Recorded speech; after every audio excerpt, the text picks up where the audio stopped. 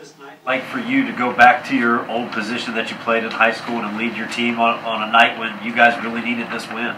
It's like a little homecoming thing, you know. Um, uh, my my head coach is here too. You know, I seen him doing the catwalk, and um, it's it's just a blessing to be able to do that still. You know, um, you know, I was a receiver here. You know, it's just it's just a blessing. You know, I, am lost for words for real, and just just give my glory all to my teammates. Did he say anything to you? quarterback sort of like riding a bike. You, know, you just never forget. Um, it's it's some things you can't you can't forget. You know, you got to be fundamentally sound. Just just to be able to keep keep the rhythm. And I think Coach Hinshaw got me prepared re- really very good.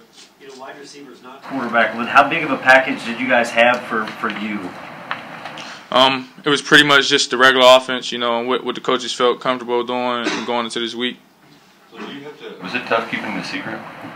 Um, yeah, it was. You know, everyone kept asking. You know, just do what the coach tell me to do. I'm ready to play football.